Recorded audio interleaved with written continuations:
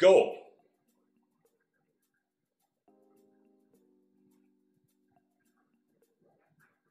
Hi, and welcome to the second day of the Pint of Science 2021, coming to you live from Stavanger, Norway.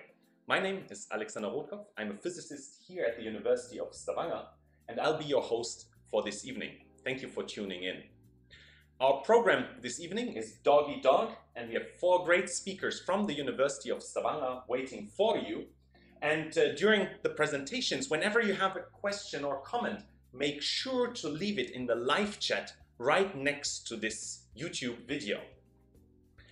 We will collect all of your input and then sit down with our speakers and uh, get to answer all of, all of them for you. Okay, and uh, I think we can start the evening. Let me switch positions quickly before introducing our speakers. First up, we have Tom Brökel. Uh, Tom is an award-winning professor here at the University of uh, Stavanger, uh, and he's an adjunct professor at the Center for Region and Innovation Studies at the University of uh, Bremen in Germany. Uh, hey, Hey, Alex. uh, Tom received his PhD in uh, 2008 from the University of uh, Jena in economics.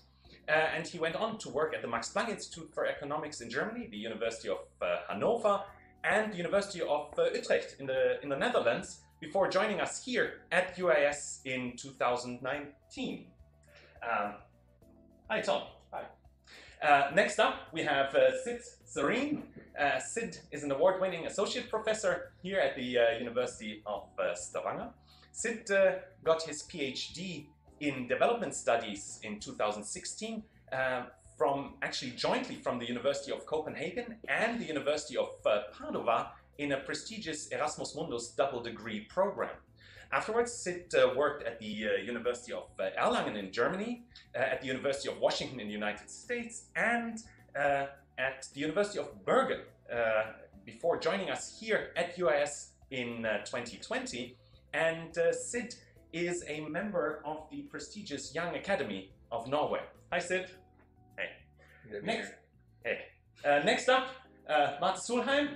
Um, Marte is an associate professor here at uh, the University of uh, Stavanger, and she's heading the Stavanger Center for Innovation Research. Uh, Marte got her um, PhD in 2017 from uh, in uh, diversity and regional innovation uh, from the University of Stavanger, and uh, she worked as a postdoctoral research associate uh, until 2019 when she joined UIS as a staff member. Also, Marte is a member of the prestigious Young Academy of Norway. Hi, Marte. Hi, good to hear. Great. Uh, and last but not least, uh, we welcome uh, Rune Todnem By. Uh, Rune is a professor of leadership here at the Uni- University of uh, Stavanger. Rune actually got his master's in 2004 from the University of Wolverhampton in the UK and became a lecturer afterwards at uh, Queen Margaret University in Edinburgh, uh, transitioning to become a professor at the University of Staffordshire after that. And it's from this university that he also obtained his PhD in 2019. Um, Rune held a uh, adjunct professor position for some time at UIS before he then eventually joined us as a full professor here at UIS in 2019. And uh, Rune is actually also an entrepreneur, having co-founded his uh, leadership consultancy company Firesoul. Great to have you. Thank you. Our program tonight is uh, actually sponsored by the Young Academy of Norway. And uh, I would like to use this opportunity to ask uh, and Sid uh, to tell you guys what the uh, Academy is actually all about. Please. Sure, thanks. So the Young Academy of Norway, or uh, Akademia for Unge Forskere, which explains our acronym IF, as we call it. Um, uh, we're a bunch of people. Marte will tell you how many, um, and uh, and uh, and we're we're interdisciplinary. We're uh, quite diverse in terms of uh, who we are as people. Really fun to hang out with, so that's a common thread. And uh, we're also based all over Norway, coming from multiple career trajectories, a bit like our group here tonight. We've had a bit of uh, this and that and bounced around. And uh, and the idea is to be a research policy forum. It's uh, it's also a place where we really push for engagement and making sure that there's a voice taking for the concerns of researchers uh, within Norwegian academia. So it's it's a really fun group to be part of, and that is really excellent. Thank you so much. We are 44 members at the moment, but we are currently rec recruiting. So you can just log on to our website and you can find all the information there. And we're looking forward to maybe having one of you guys watching now, or guys or girls watching, joining us. So great. So I, I hope that uh, through this show you will recruit a bunch of uh, new members. Uh, let's let's hope for the best. Very good. Thank you very much. And with that, uh, we can actually start uh, the main program, Dog Eat Dog.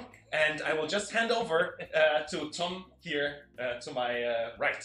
Yeah, thank you very much. And the the talk I'm going to give is entitled "Smoking Empty: Try Another Innovation and Growth," and it's something um, I put up as a challenge to recognize where the smoking gun actually comes in, so where this all relates to each other. So the general idea is um, of this presentation or of this talk is that if you think a little bit about the history of mankind, you will have noticed that um, there has been tremendous economic growth.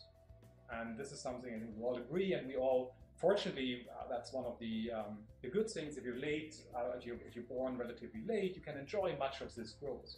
Right? And just to give some numbers, and therefore I have this wonderful device here that gives me access to all these numbers, because they're just astonishing. So if you go back to 1500, the time that I would say none of us can really recall, um, there before the stock market. There was, I'm not sure when it was actually founded in the Netherlands, but but probably right. Let's assume probably before that. The world GDP, so that's a kind of measure for economic output and services and, and products uh, that are, are created in a year, was 430 billion dollars adjusted for uh, purchasing power and so on and so forth. So 430 billion, which is already quite a number, right? Um, but if you go to um, 2014, this has actually grown to about 104 trillion US dollar. So this is, um, if you if you have time at home, for instance, write down all the zeros that we have added to that, but fortunately on the right-hand side, not on the left-hand side. And if you look at even at uh, the citizen numbers, uh, sorry, the per capita income, this has grown also from uh, in 1500 uh, of about $1,700 per, uh, per year as a UK citizen to more than $35,000 in 2014. And for number for Norway, this number is even bigger, but there are some interesting effects about that. So anyway, so there has been tremendous economic growth. And if I would ask those of you here in the in the audience who know or who have studied partly these phenomena as well, then of course there are quite a number of reasons for why we have achieved such a tremendous economic growth. And one of the most important one is that we have been extremely innovative. So mankind has come up with lots and lots of uh, new innovations that allowed us to become more innovative. The steam engine, uh, ICT, and so on, and you name it. ICT. ICT, Information Communication Technology. Uh, nice check there. so uh, we, we have all this uh, um, innovation that have allowed us to actually become more productive in economic terms, meaning we're able to produce per working hour more services, more goods that most of us appreciate, right? And we're still pretty good in that. So just as, I mean, there's no precise figure, but somebody, not me, has made an estimate saying that per year we're adding about 30,000 products, new products. So to our existing portfolio of products, we add about 30,000. I don't know, we didn't count it. Let's let's trust this number. And um, another figure that shows a little bit how innovative we are. So in my type of research, we quite usually refer to patents as another measure of innovation. We can discuss about that. But this number also grew from uh, 1975 or from the year 1975 of 70,000 in the US per year to more than 500,000 per year. So just another indication of what has going on. And we know there are a lot of very, very fascinating uh, innovations amongst these. Electrical cars, to name a few, renewable energies. Uh, just recently, colorful um, computers were introduced, and even in Norway, sitronboller. I don't know whether you've seen those lemon buns, uh, which are new. I didn't see them before, so that's great. Um, and it, not only new products were added, but also each of these products has somehow become more, uh, has added more features, uh, more features have been added to them. So just think about the smartphone. Most of us are old enough to remember the time before the smartphone, right? Uh, and if we, if we see in our heads the, the evolution of the smartphone, I mean, in the beginning, you could actually do calls. This is something we hardly do anymore, right? But um, we just have a wonderful timeline here. Uh, what type of functionality has been added, SMS and digital audio player, emails, wireless uh, LAN, multimedia player, health monitor, um, ebooks, TV, and so on and so forth. So this the product even has added more features, which also gives credit to our innovation. And this innovation is still on the rise. So if we combine now these two aspects, we have seen this tremendous growth in the past. We know parts of this or large parts of this relate to, um, to innovation activities, and we are nowadays more innovative than ever. Of course, we have this increasing number of products, new patents, many more patents. Then we kind of would assume that actually um, we should be, from an economic point of view, grow quicker than ever or faster than ever. And here comes the interesting point: we're not. So interestingly enough, although we are pumping out uh, new innovations on a record basis these days, economic growth has somehow not kept up with that. So um, maybe it is because um, some of these products don't really give value added, right? Zitronenballer, you can debate about that. It's probably a matter of taste. Uh, I recently switched to a new email client, um, which now has a smart inbox. I didn't know that I needed that. I'm not sure whether it's really helpful, but I do have it now. So that's that's really great. So, but if we come back to this economic growth, uh, we see, for instance, as, as one measure, I have multiple here, I'm not going through all of them, um, but one is really astonishing. If you look at the productivity, labor productivity per hour, that is basically how many goods and services you can produce per hour as a, as a worker we had growth of these uh, from year to year of about 10 to 15 percent about 30 years ago. Nowadays, we're down to 2 or 3 percent in all countries in the world, basically. Some outliers, but still on average, economic growth rates have decreased. So the big question, and this is also I try to tackle with my research, is what is going on there? Record number of innovation, poor economic growth, although we know that innovation are a driver of economic growth. And one thing that may be an explanation and we're trying to explore is we do something else. We're not only creating a massive amount of innovation, uh, larger than ever before, we're also investing more than ever before in R&D. So another figure here, uh, in the year 2000, worldwide, there were about um, 676 billion US dollar invested in R&D. That's like more than the whole world had 500 years ago, you said. Absolutely. And Today, or 2018, this number has grown to uh, 2 trillion US dollars, right? Which is it's, it's massive. Um, I wish I could show you this wonderful plots, but I don't. but maybe as a, as a, as a number, as another number, um, so for instance, Apple alone is investing more than uh, 12 billion US dollars per year just in R&D these days. Uh, that's more than their revenue a couple of years ago. So that's just incredible. And Another example that, that gives an insight into what might have happened is many of you probably know Moore's Law, right? Uh, that's basically this idea, and again, ICT industry, that with each year we are able to double the number of transistors on a computer, uh, on a computer chip. Bluntly speaking, it doubles its speed uh, by year, from year to year. And this uh, law has been um, in place now for almost uh, 30 to 40 years, and um, it's still valid today. So each year, computers, let's say roughly speaking, become twice as fast. what this does not show is, however, that the number of R&D staff that is necessary to sustain this number has grown 18 times since 1970. So apparently, we are also investing much more in innovation, but we also seem to be, or it seems to be necessary that we invest so much more in innovation in order to keep this rate of increasing numbers of innovation or even stable numbers of innovation up, which gives us at least some growth.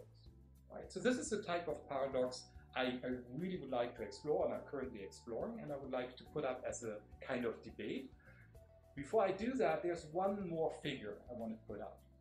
In case you don't believe me that maybe something has happened in this world, and this, um, what might have happened, um, we call complexity.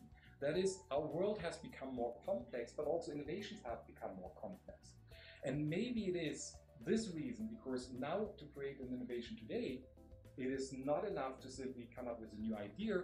It usually has to be much more, this idea is usually much more complex than what has been in the past.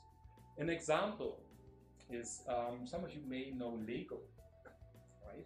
So if you look at the number, the average number of pieces in a Lego set, which you bought in 1950, were about 20 Lego pieces in there. This number has grown to about 300. The average Lego set nowadays has 300. So even our child. And child an architecture one's got 1500. yeah, I They're didn't look for white. the maximum. I didn't look for the maximum, but just on average. And this you can see in, in other things as well. The Tesla S, um, the, the electrical car, has more than 30,000 parts. Right? This is, this is quite a lot. The Boeing 747 has more than 6 million pieces. Uh, if you look at, uh, for instance, the engine control software in 1981 that was built into a GM, so the, the most advanced software uh, in GM, uh, had about nine, uh, 50, sorry, 50,000 lines of code, um, which is already quite a lot. The space shuttle in 1980 um, had about 400,000 lines of code um, steering it, starting it, and also and so on. But if we look, for instance, today at the computer operation system, um, there we are at about 80 million lines of code that underlie it. And if you look about uh, the, the car software, the software in an electrical car, so all this, uh, what's going on there, as uh, controlling that, then we're talking about more than 100 million lines of code, right? And this shows quite nicely how our the innovations we are creating, the new products we're adding, the new processes we're inventing, all seem to have become more complex. And this in turn seems to drive also R&D costs up. We need to invest more people, more resources into R&D, which apparently implies that we can't spend these resources on something else, consumption or uh, investments, other type of investments, and we're losing out on economic growth. But this is just a hypothesis. So this is something we're trying to test out, whether the increasing complexity of innovation activities, of products, of our economic system actually reduces the economic growth we can achieve um, in the future um, as well as today. So the big question is how do we go from here? And um, I would say either we are kind of trapped in a complexity trap. That is, this increasing complexity prevents us from achieving the growth rates in economic, um, economic terms that we had in the past. Um, we need to sustain these ever increasing R&D investments just to sustain the type of growth rates that we had in the past or not even reaching them anymore. But maybe we also have to reduce our growth aspirations. So maybe we can't simply grow by 10% uh, per year, uh, but we have to live with uh, lower growth rates. Maybe we also see another revolution going on in science, right? So things like AI, big data may actually help people like us, like, like scientists, to become more productive and come up with new innovations on a higher rate. Or maybe all this is just a measurement error. Because maybe inventions like video streaming, like we use today, what is the value thereof? How does this translate into economic value? Right? Maybe we're not capturing that and we actually still grow tremendously from an economic point of view, but just our measurements are not fully there. So maybe we're not able to measure all these new shiny things that we are inventing. And with that, I would really like to hand over to Sam. We'll talk about shiny toys. What did all of this have to do with smoking? Well, that's, and here I said, well, throughout my, my talk, I tried to come up with where this is actually, no, of course, there, there is this, our R&D gun is smoking. So we're pumping out innovations we're, uh, um, um, on the basis of R&D investments. We're investing a lot. So the innovation gun is smoking hot, but maybe it's coming out empty in terms of innovation that create additional economic growth. I am Cool. prepared. Yeah, that's great. And and is it Tony or Joni Mitchell? I think it's your present uh, time for your presentation. All right. all right? Well, well, as you might have cottoned on, some of you true fans out there, uh, the the theme of "Dog Eat Dog," which is a Joni Mitchell album, um, is reflected in each of our talks, right? And and mine is uh, going to take us driving straight into shiny toys, and um, and I'm going to. Tom's a deep guy. I'm going to start at about half as deep as Tom, about forty percent, um, which is a pretty good growth rate. But uh, but I'm going to start at um, at about the time that this film I saw yesterday was set at 1820, so about 200 years ago. Um, 1820 is when this, the film is called First Cow. Great reviews, go see it. Um, it's it's set in Oregon, right? Kind of gold rush times, and the reason it's called First Cow, I won't give away anything else, but there's a cow in it. That's the first cow in Oregon, and this guy gets it over, and like there's a bit of milking involved and but but you, let, let, here's a related question. You know what else changed around then? In 1817, a revolution that you know, or uh, an innovation that changed the world. And actually, Marte got here thanks to that innovation today. Bicycle. Yeah, that's right. 1817, Marte. In Mannheim. Probably. There you go. Uh, but I must say that you got uh, you said Erlangen. It was Erfurt. But oh, now, oh, oh, oh, yeah, my, yeah. my bad there. My bad. No, but the closest that Thuringia comes to having a city. but uh, but maybe in Mannheim. Um, so um, so in 1817 we got the bicycle. Does anybody know when we got electricity? In terms of what? Well, okay, let's say the Chicago World Fair. We know that this happened. 1896. There you go. Yeah. So towards the end of the 19th century, we're getting to, you know, there's another, just on the topic of films, there's one called The Current Wars, Benedict Cumberbatch, really good film. I watched that one. 1880? There you go. Not from a book. Maybe we should go out and watch films together, and this could be fun. Just thank you, Netflix. So, so the, the current wars, it's, you know, the battle between Edison and uh, Westinghouse and Tesla. Tesla's the immigrant who gets kind of uh, taken advantage of for a while, but he's actually, he got it right, as we know um, with DC and AC and all of these current related uh, things. But we have electricity and uh, and alternating current light subsidies, and uh, um, then at the start of the 20th century, we have. Uh, it didn't really look like this, you know. It yeah, it was a lot bulkier and. Uh, it moved quite slowly, and uh, there's also a really good book about Alexander von Humboldt and uh, Kant and, and and and one of the things, and I'm not going to tell you more about that book. Lots of diversions here, but what it what what it does remind me of that book is that traveling was bloody hard. It used to the the word come the root word is travail, which is like suffering, and and so when cars started in the 20th century, they really revolutionized a lot of things. Um, coming back to the innovation topic that you brought up, I think in some ways we it might not be reflected in economic growth, but we're probably better off than the very well off, very fancy people as recently as 100 years ago. Because you couldn't get somewhere as far as the distance we routinely go for like a weekend or something without your back hurting and you know lots of trouble and you had to be you had to be pretty privileged now you can sort of just do it and you can even complain that i can't take my dog on Kystbussen because they don't allow that because of people with allergies and this sort of this level of uh, complaint, right?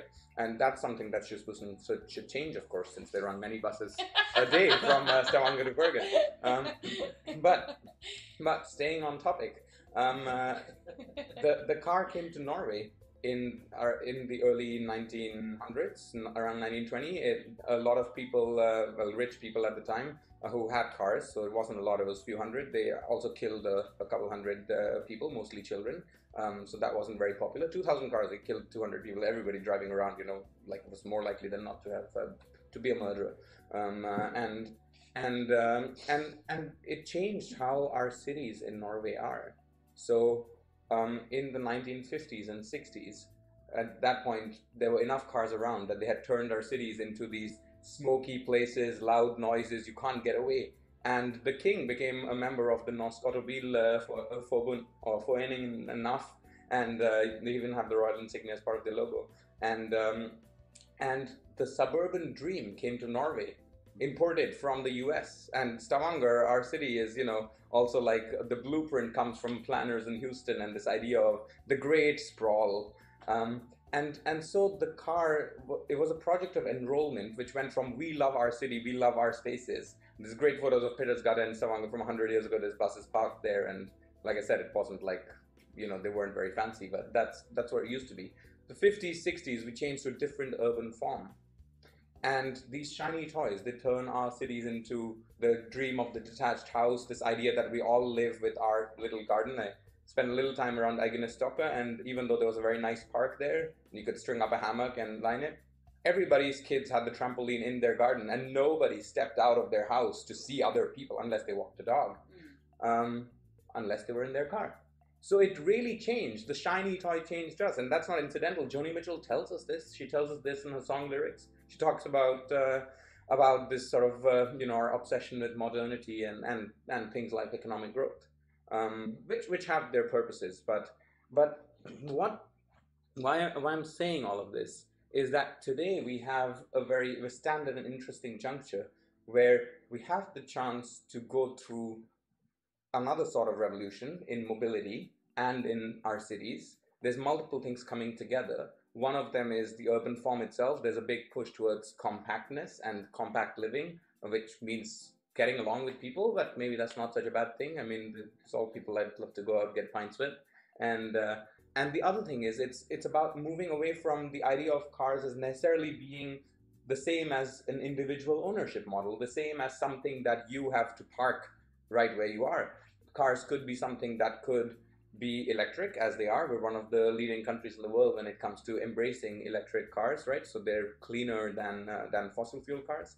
Um, they could be something that's shared, and we have a lot of uh, initiatives, Nabobil, Wheel Delivering, and different models for how you access a car. You don't actually have to own it, um, and and at the same time, we have other innovations that are sprouting up all around us. One that's been quite controversial is these micromobility solutions, El Sparkcykler or electric scooters. They're you know all around. You can get a subscription. You can get different subscription models. There's multiple companies. They're bringing it down to a competitive market.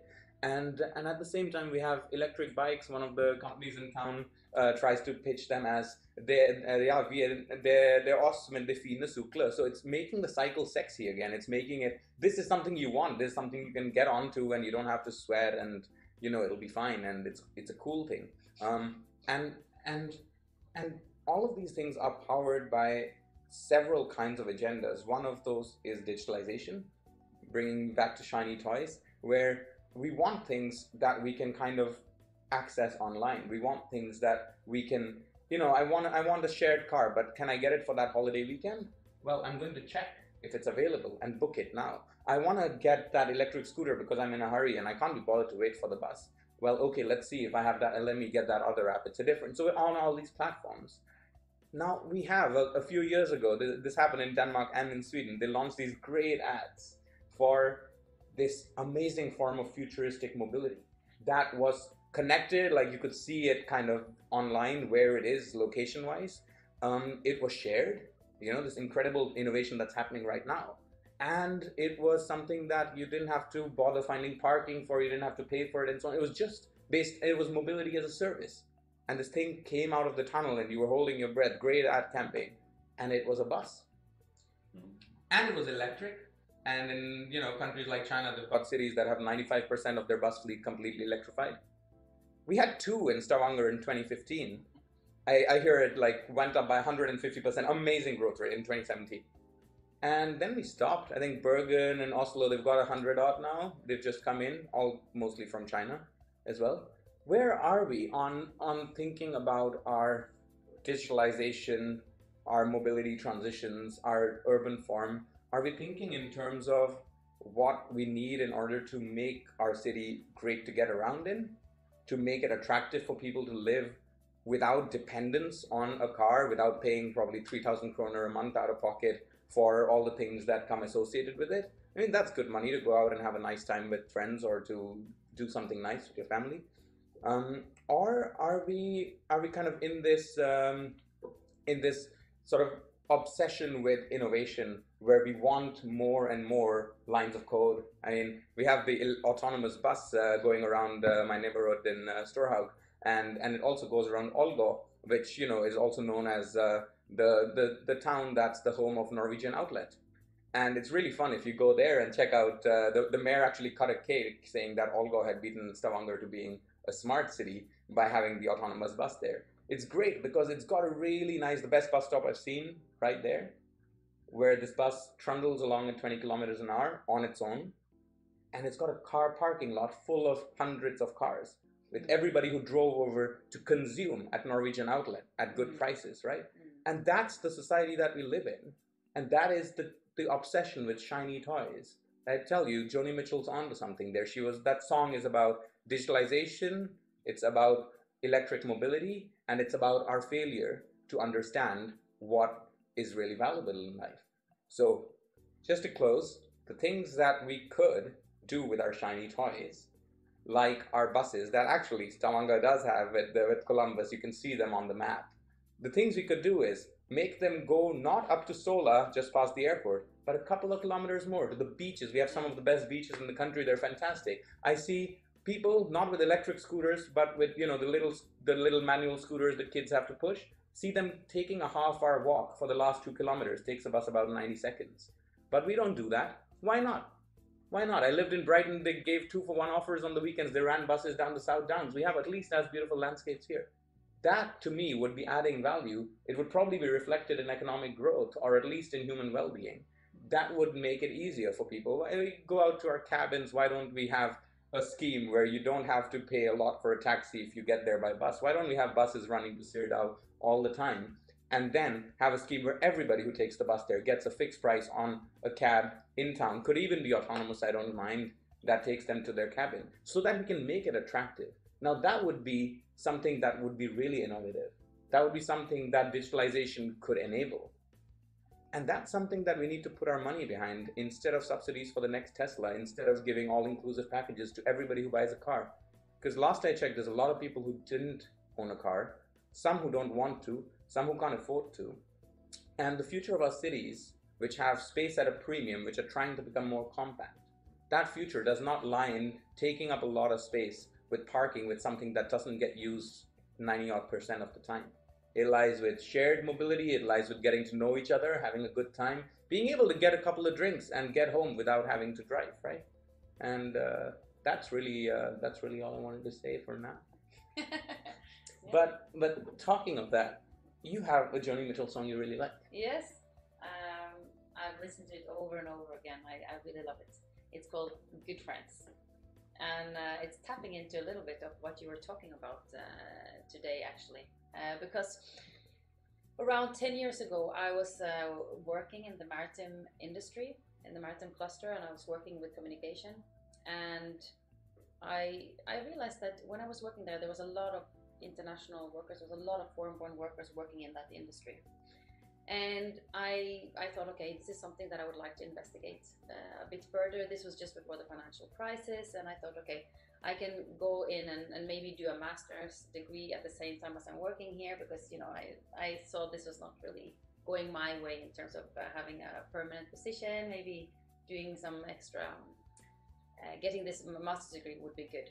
So I was able to do that together with uh, Møreforskning, this um, research center, and I wanted to look at foreign-born workers in the maritime cluster.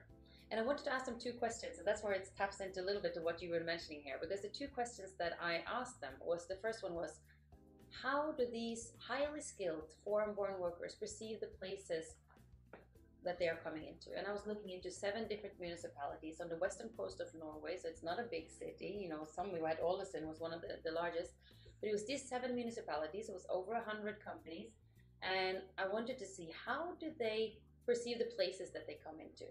Like what kind of activities do they get engaged with? Um, what hobbies do they have? Who do, who do they interact with?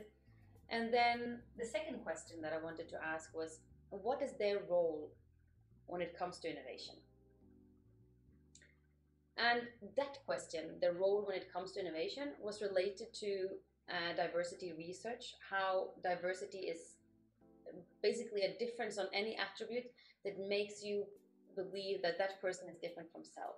And that difference is, as Joni Mitchell also says in that song, gets like a big particle in your eye or something.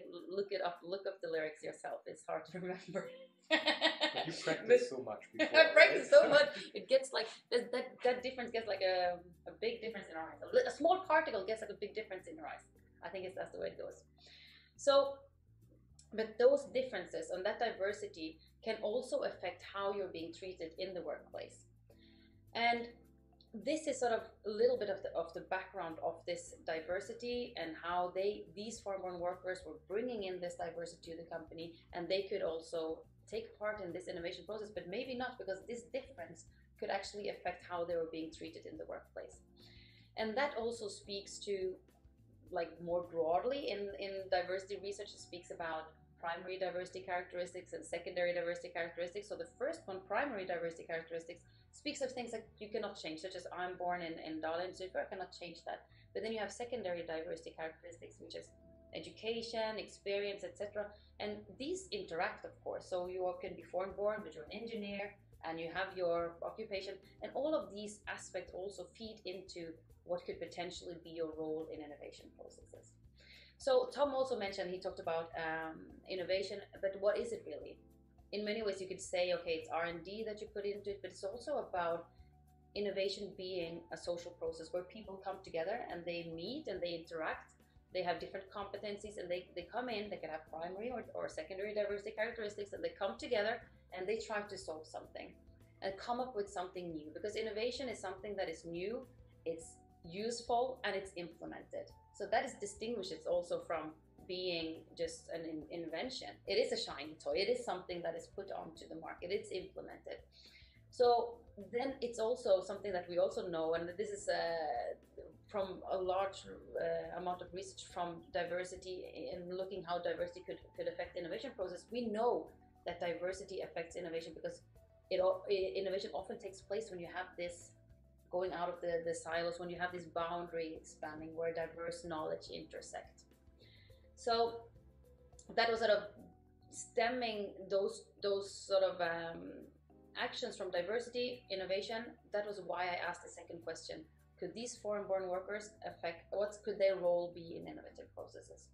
So these two questions, I thought at the beginning that these are sort of completely different. You have one, how do these foreign-born uh, workers perceive the places where they move into?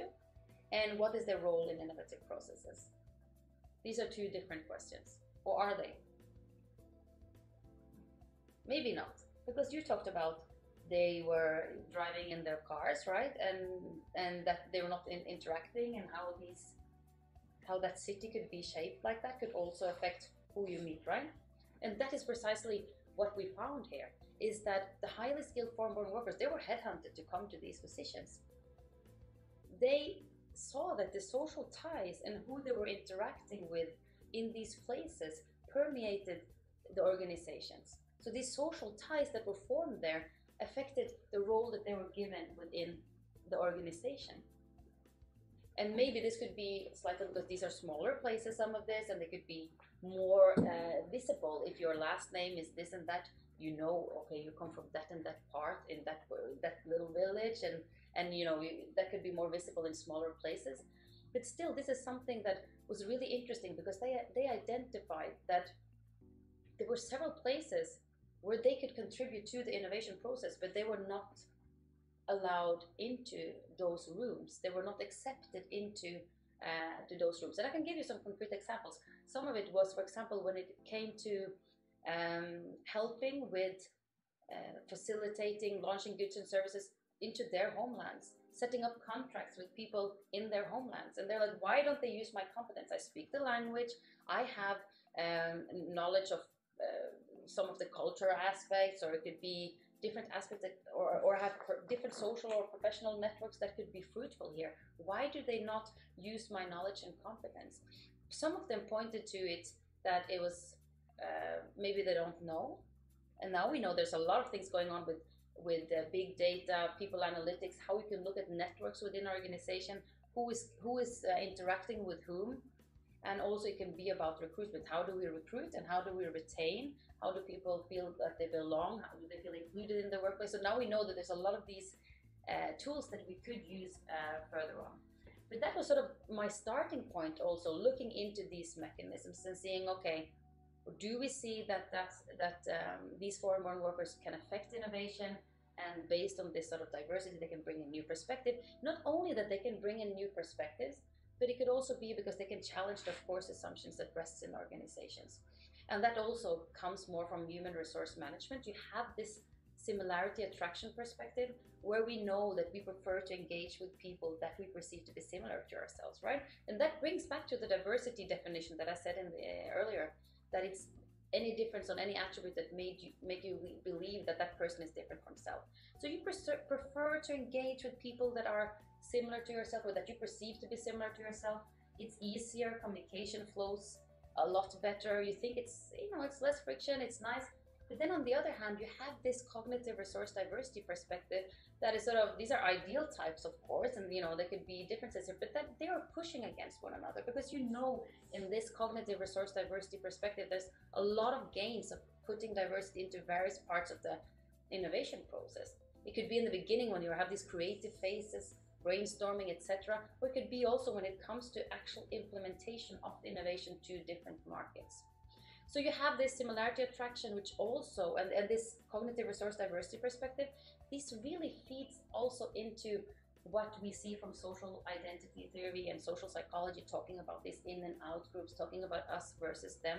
And you have this in group where we know also that you um, you prefer to engage with people that you think are similar to yourself, you trust them more, you retain more positive information about them, and you also help them more. There are numerous experiments demonstrating this. For example, from the parking lot, where they're setting up an experiment and you could see a, a stranger pretending because he's pretending it, it, this is an experiment but he is there as an actor asking someone else for um, for money because he needs some coins. This is in the maybe in old experiments but now you can use it in your use your phone but he was actually he was asking for coins to put on uh, into the um, into the parking uh, machine. And we could actually see that there was a higher propensity for people to help him if they perceive if they look the same or if he was dressed in a certain way. And there's also other real life examples of this after hurricane katrina. You could see who was helped first was also related to the identification of the people in the in the um, emergency intervention the, the, people in the in the front line. You could also see that in numerous experiments also from based on um, on football fans how uh, or students identified as football fans walking across from location A to location B on campus and they saw a guy uh, lying on the um, uh, on the ground, and he was holding onto his foot, and you could the the researchers could observe whether or not this group of students were helping him or not. And they saw that these students that were identified as Manchester United supports, uh, supporters, in fact, they were going to see a match. That was why they were crossing campus they were more likely to help that person laying down if he was wearing a Manchester United uh, t-shirt than when he, if he was wearing a, a Liverpool t-shirt. And numerous of these examples I could mention. Anyways, to bring it more to uh, to a little bit of a close, I mean that was um, my starting point of also why I decided, okay, I will leave the maritime, leave the maritime cluster. I would go in uh, to research and, and try to look more into these in details. So a lot of my research have, have looked at the linkages between primary, secondary diversity characteristics and see how that affects various types of, of innovation differently, but also how context and these contexts where these firms are placed have also um, affected those relationships. But what I think also is important to mention here, and that was sort of, is that it's not an automatic relationship between diversity and innovation.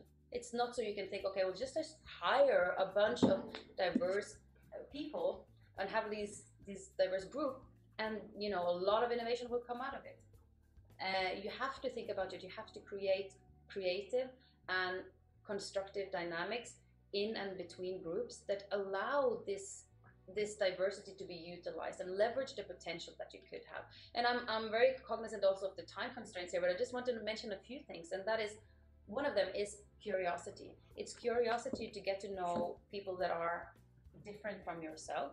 It's about also empathy and perspective taken, being able to take the perspectives of people that might have different opinions about your about, than you than you do. It's about making friends. You can think about who who is in your friend base. Do you have diverse friends, or do you sort of always hang out with um, the same group of people in like a midnight zoo? That is Joni Mitchell's words, not mine. And then it's about thinking. Um, it's about psychological safety. It's about are you feeling free to say to, to talk about your opinions and you know that no one will come back to you and say like oh why did you say that? or or why did you not say that? and and being free. And i, I recently gave a, a, a presentation. I met uh, the ceo of uh, this uh, dairy uh, farm. And i really loved one of the ideas he was pitching there because he really wanted to mix milk and coke and and have that as a yeah you, right we could have told him that that would not work right was that was the- that was like that was like Tom's cinnamon uh, uh, buns uh, no the, the, the the, the, lemon- the lemon lemon buns. buns Lemon buns. the lemon buns no but so he wanted to try this and obviously that failed but what happened is that they made a museum it's opening up and, and clap where they put all the failures Mm, Interesting. they put Yeah. all the failures that all were failures, the things that did not work out, but still they were reminded, okay, we tried it. We did try it, right? We we have sort of this culture where we have this innovation culture that we we said, okay, let's just try this. We it might not work, but but you're not afraid of, of failure, or it's okay to fail. You create this this atmosphere, and uh, it's about if you think that you are an orchestra or you're in a symphony or orchestra, it's about you and all of us. We are colleagues. We could. Uh, we are playing this. Um, you can look at an organization like that. We are playing each of us, each of our instruments, but we're playing together. It sounds really good, right? But also, I know that I could get up with my instrument and I can play it, and I know that you are listening, and I know that you are rooting for me, that you want me to do well, and that you're saying okay. And also, I know that that sounds really beautiful when I play it alone, but I know it sounds really powerful when we're all playing it together. So I think that's sort of the. I will end it at there, but I want to say that to be able to have that orchestra playing it together, you need to have. Um, you need to have a focus on diversity, equity, and inclusion and belonging within the workplace, and you need also to have leaders that uh, acknowledge that you want to sort of that you have this leadership commitment to these values and to that ways of working. But also, you need to think about inclusion. Also starts with I. It's this dual process and this connectedness with workers uh, and top management.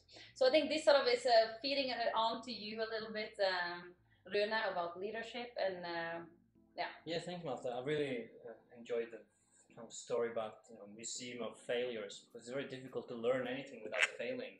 So why shouldn't it be celebrated? It also reminds me about my previous university, so Staffordshire in, in, in England, where they planned to tear down a building to build a new one, but they had to delay it with a year because they found some bats uh, in the old building, which were protected, of course. And and rather than, of course, this was not as planned, but out of that came a bat celebration day. So it becomes a bit fun as well, you know, because of these bats. We had to delay this, you know, tearing the building down with a year, but let's celebrate that, right? So uh, we, perhaps we're not good enough at doing just that.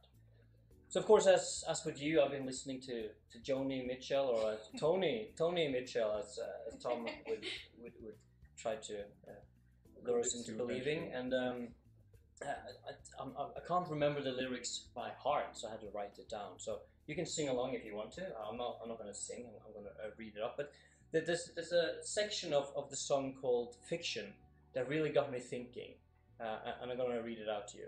sounds like I'm doing something very romantic here. Yeah. Uh, so, so Tom, you'll you'll just jump in with, with the chorus. Rob. Yeah. Uh, I can't decide. I don't know which way to go. This is you say. Ooh.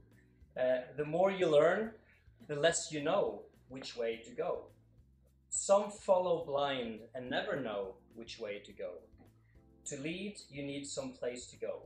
Which way to go? So Tom talked a little bit about complexity and how things are getting more and more complex. I'm actually acknowledge that. But I'm more I'm more interested in the simplicity of when you're looking at leadership, simplicity of, of why. So of purpose, which we'll get back to. But we seem to have this agreement, common agreement in, in organizations, um, that leadership is really important. It's really important. And good leaders are worth their weight in gold, at least substantial bonuses, right? But I, I really think that we confuse two things here. We, we confuse leadership with leaders. So very often I ask people, students and executives alike, that, you know, define leadership. And we rarely define leadership. We end up defining leaders. Uh, and these are two different things. Uh, and it's a, a well-known book in the field of leadership called Leadership, uh, written in written in 1978. Easy to remember. Written in 1978, and and the author James Burns he writes that you know perhaps we know too much about leaders, but too little about leadership. So already then he makes a distinction, and perhaps not too much has happened since. And he goes on. This is his words, not not mine. But he goes on, kind of explaining that we are obsessed with leaders. We, we, we set out talking about leadership and we're obsessed with leaders. We're obsessed with how they look, how they talk, uh, you know, their haircut, what they have for breakfast, where they went on holiday, what car they drive. Of course, it's a Tesla. What kind of a pet they have, and this is where it's really his words. What they do in the bedroom. So it's kind of Se og Hør, or now Dagbladet and VG, uh, newspaper literature. We're obsessed with individuals rather than what is this thing, uh, leadership. But I would suggest, and I've done this before, and it's, it's sometimes it's not stepping on toes, sometimes it's jumping on toes, because I, I suggest very often, uh, and it is to, to provocate that, that many leaders, many former leaders, they don't perform leadership. Uh, we, we have we're getting more and more afraid of making decisions because what might happen if I get it wrong? So let's let's not make a decision today. And also suggest that many people who do provide leadership don't look at themselves as leaders. So very often I can ask if there's an audience, if I have, if I'm lucky enough to have an audience, and I say, who here perform leadership? And, and it depends, but very often people are a little bit shy because they don't want to show off. Some will be straight away. Then I have a follow-up question, and here many more say yes or identify themselves. They say, so first is who here performed leadership? Some identify, and then ask who here is a parent? And very often, many more will identify themselves because they are a parent, a mother, or a father, and identify they perform leadership. And my question is, without making a judgment statement, how can you be a parent without performing leadership? Uh, you're going to say something there, Tom? No, no, no, Yes. I'm- no, You're a parent, and I'm sure you're performing Yeah. leadership, right? I'm Uh, not sure whether my kids would agree. yeah, let's not go to the, the value judgment. Or, or- But, but a leader is just a sad German song. Is it? Well, there you go. Let's go beyond it then, right? Uh, so I really agree. How could I not? That that leadership is is is crucial, but I think that we need to refocus. Leadership is something we do. It's not something we are. We need to be able to perhaps talk about leadership without talking about leaders, and that's quite difficult because we've grown up in an environment. I just went past a, a, nursery, a kindergarten here the other day, and, and they kind of they've written some core values on the outside wall on this nursery or kindergarten, and one was leadership. And I wonder how, how do you how do you how do you talk about leadership with, with the kids of this age? Is it to be tough and make decisions, get the others with you, and help others achieve things through others, or do we talk about leadership in a different way? I don't know. I don't work there. Perhaps I, sh- I should visit. But if you watch these kindergarten groups that are all like hold on to a rope, which is dragged by by the, the uh, usually a woman, right? Um, that's leadership. yeah, so you get them with you. So the leaders in the front, right? Of course. Physically, in this case. Yeah, Rope them in. rope them in. Yeah. So I think that leadership at the moment is rather exclusive, but it needs to become inclusive. So I think we need to focus much more on leadership as as a process because the leaders in their own right or on their own are not really important. Leadership is what is important, and then how can we perform or contribute to to leadership? So I think a real challenge today is that the dominant view of leadership is that no matter what we call it, X, Y, and Z, transformational, transactional, servant, whatever you want to call it. I call it whatever leadership because you could call it whatever you want. It consists of three ingredients. So it's like you you you cooking something. You say we can cook whatever, but you only have three ingredients. So that's what you have. And ingredients number one is leader. Well, perhaps there's more than one, right? Ingredients number two is followers, and then ingredients number three is delivering on shared goals. Of course, these these shared goals are rarely shared they're kind of dictated to you because there's rarely a shared ownership of, of these of these goals. What we see then in conversations and in studies is that this this view or this approach to leadership creates us and them. So in, in my kind of with my editorial or editor editor in chief hat on for Journal Change Management, I, I have now got a tendency of returning very early on in the process uh, manuscripts sent sent in that talks about managers and employees or leaders and employees because from the outset then they encourage an us and them view. Because i'm very much thinking um, leaders or managers they are also employees. You know they were hired and most likely they can be fired. Very few of these managers or leaders own the company. So we're all in the same box. You know we're working on the same team but sometimes it doesn't look like that because we talk about us and them. So those that kind of informal leadership responsibilities talk as us, we have the helicopter view, and then the employees kind of down. And then those employees that are not in leadership uh, roles yet, they talk about us as employees, and we know what's happening down on the floor, but they, the people up there, they don't have a clue. They're detached. It's not a great ambience, I believe, us and them. And then it's something about, you know, words are important. Who think it is great to have a recipe where you have leaders and followers? Who wants to be a follower? It sounds a bit weak. I'm not suggesting that it is weak. Some would suggest that in this relationship, the most important is the first follower. If you don't have, if you're a leader and you don't have a first follower, you're just another lunatic, right? Doing your own thing. So the first follower is really, really important. But the word follower is not great. It suggests that your lang- language consists of words like bah. Yeah, you're a sheep. You're following. You're not challenging. You're not sharing. You're not asking questions. You only engage when you're sent an engagement survey. I don't think it's great. So I think this dominant view is suggesting that only a privileged group of individuals, and these individuals are very often male, very often white, sometimes lacking hair. Suits me well, this, this, this dominant view, doesn't it?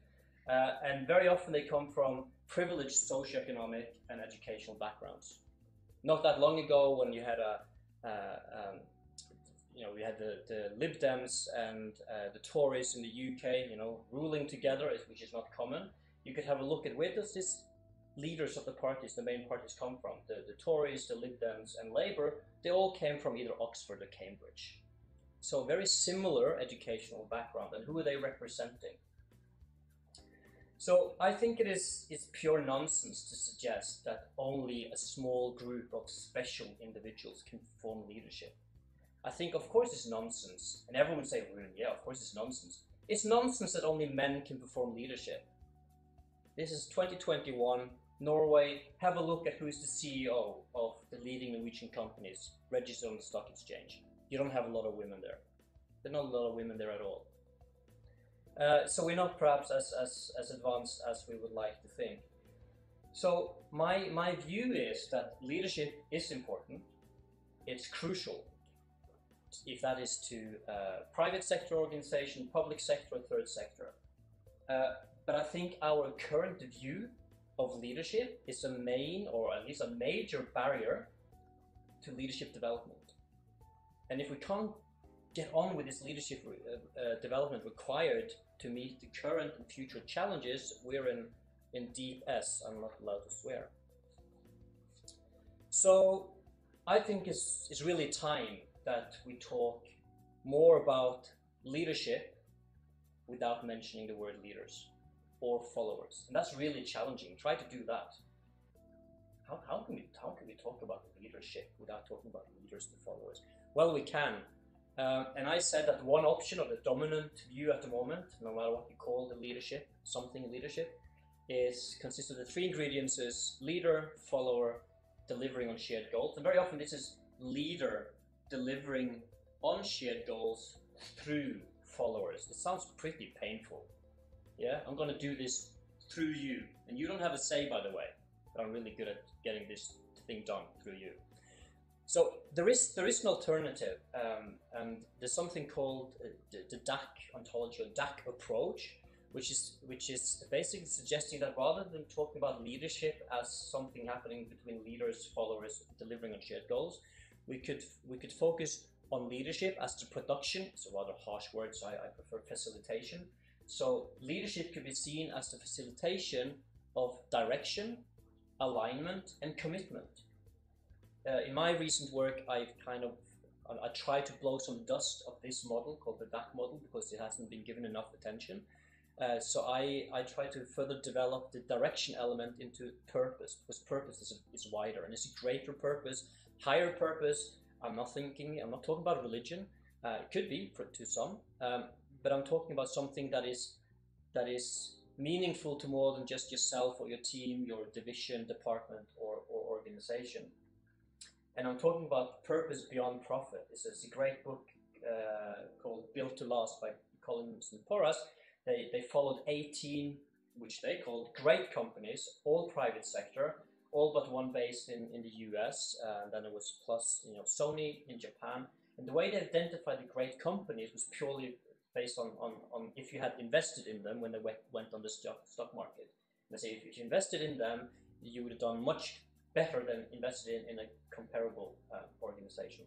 And they said the two things, the two things we found they had in common is that the, the, the magic word called and, so or, not either or, uh, because in, in academia and in practice we often talk about um, stability or change.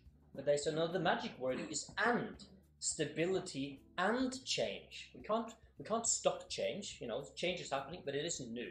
We keep talking about change as being something new. You know, change has been going on for ages. We have evolved. That's the strength of human beings. We actually embrace change. We don't resist change, as the literature and a, lot of many managers uh, like like to to to think, at least say. Um, so we do both. For example, purpose shouldn't be changed every time you have a new CEO. The purpose of an organization. I used to be an old Boy Scout, and we had like a famous paragraph. That didn't change every time we had a new chief scout. Okay. Um, and the second thing they said is, or found, these 18 companies, all private sector, they had a purpose beyond profit. Not purpose instead of profit. Some people say, yeah, purpose, nice to have if you're a teacher or a nurse. Come on. Purpose is what gets you up in the day. Purpose is what makes you bounce back once you've fallen over and perhaps broken a leg. Purpose of what was identified in, in, in, a group of young adolescents that did not have the best start of life because they, they were looked after by the state. And you had a, uh, some researchers that asked these uh, adolescents, Do you have a purpose in life? They didn't define purpose to them, they defined the purpose themselves. It could be a religion, it could be Manchester United, right? But do you have a purpose in life? And they defined themselves. Yes, we have a purpose. No, we don't have a purpose. And then they followed these adolescents, these two groups of adolescents through life, and they found out that those who have identified themselves to have a purpose in life did much better. Higher levels of education, more stable family lives, better health. So purpose is, is, is really important. So to round off here, like like Joni or Tony puts it, Tom, we need some place to go. Yeah, we need some place to go. We need somewhere to contribute to on the journey. And this is what purpose can provide us with, no matter if we're in private sector, public sector, or third sector, a destination to move towards. So closing words is my working definition uh, on, on leadership these days is that leadership is not something leaders do. Leadership is the collective pursuit of delivering on purpose. Something we do together. So what do you think? Great. Thank you. Very nice. Uh, first of all, thank you, Rune, Marte, Sid, and Tom for these very thought-provoking, very interesting uh, contributions. Uh, I very much enjoyed listening to all of them so far. Very smooth transitions all the way. Really great. Thanks to, actually- they thanks were to Joni. They, they were actually so great. I had a couple of comments I wanted to make to your presentations, but then you had so smooth uh, transitions to the other one that I said, no, I'm not going to interrupt that. And I think that's a great uh, segue because now we really have time to actually address any questions that came up during these uh, nice presentations, either within the group or from you out there on the machines, on the phones, on the tellies. And uh, yeah, maybe we can get right in. Uh, maybe I can, because uh, Rune's talk is still warm in our minds, maybe we can start from the from the back. And uh, I had the first question by uh, Thibaut Freid. Um, what happens if many people wants to want to be leaders? So uh, you have this this group of people, and, and maybe there's a goal that we want to achieve. And is there is there a good way how to then somehow organize who is leading what part of of the the enterprise, so to say? Hmm. So again, then my, my, my, my challenge in the reply would be let's let's try not to focus on the leader and the role. Mm-hmm. Let's let's try to focus on the activity and the process of leadership. But again, I'm, I'm not I'm not suggesting that in the future we will have total anarchy or everyone is on, on the same level. We have no leaders or everyone is a leader. But, but you can have have a look at the birds migrating mm-hmm. from colder climates to warmer mm-hmm. climates. They're, they're flying like an arrow. It's not the same bird in the front the oh whole journey along. Yeah. So the, the, the bird will fly in front and lead, and then will fly back, and someone else will take over. So this is something that, that, that we can learn from from, but we, we have too much invested in this kind of notion of leaders because leaders is like I'm part of the B team, I'm better than someone else sometimes, and it's kind of a, an elite education. Um, so I think if we, I think in a way, per definition, if everyone that provides or contributes to leadership is a leader, then it's not a problem that we're all leaders, right? But of course, in an organization, we need to define areas of responsibility. We need someone who can make a decision. We can't, oh, we're on Titanic, and oh, look, an iceberg. Let's all have a vote. That, that's not going to happen, right? So in that situation, Sony, this is my responsibility. We're turning, what is it, left or right? But that's not the right language for on a boat. Um, Starboard and port. Starboard and port. Thank you. Is there some port? Yeah. So, so, so I do think that um, we should be less focused on the word leader, leaders, more focused on leadership as a process and how we can contribute. And we shouldn't, even if we are, uh, even if we are a formal leader or uh, are looking at becoming formal leaders, I think we then need to know that we, we don't need to know all the questions and all the answers ourselves. We need we need strong teams. Okay. Paul, big question that Yes. is burning with me. If, if I if I listen to that, I just wonder um, to what extent this literature and leadership has been influenced by basically the military um, research on, on military Yeah, operations. Because I, I think that at least stimulated a lot of these thoughts and these hierarchies, and, and we all follow this one Mm. person, this male-dominated uh, approach.